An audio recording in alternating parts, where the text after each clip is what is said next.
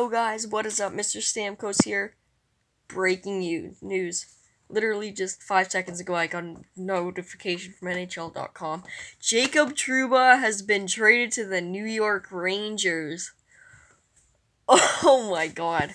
Coming off of a breakout season with 50 points for the Jets blue line. What a season for him. That really helped the Jets get extra value for him. But he got traded to the Rangers for Neal Pionk and the 20th overall, the 20th selection in uh, this 2019 draft. Now, I do have my draft magazine here with Jack Hughes on the cover, and I will show you guys who they project to go that 20th pick, which will now probably really alter with this trade.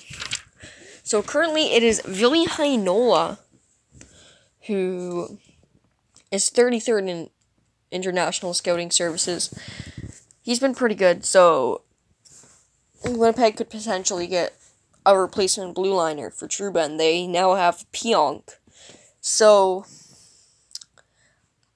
I think this is a pretty good trade. I mean, maybe if you trade if you traded Trouba last year, I don't think you're gonna get much better than a couple second round picks for him because he's a guy who's more of that two way presence.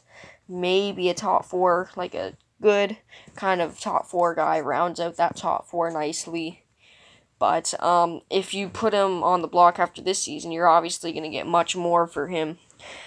Um, if you again, if you trade him last year, a low end, maybe twenty five to thirty one first round pick. This year they got, they traded him, and now they got a good younger defenseman who's cheaper, Neal Pionk, and that 20th overall pick. So I think both teams really came out on the sharp end of this deal. I think it's a pretty even trade, um, personally.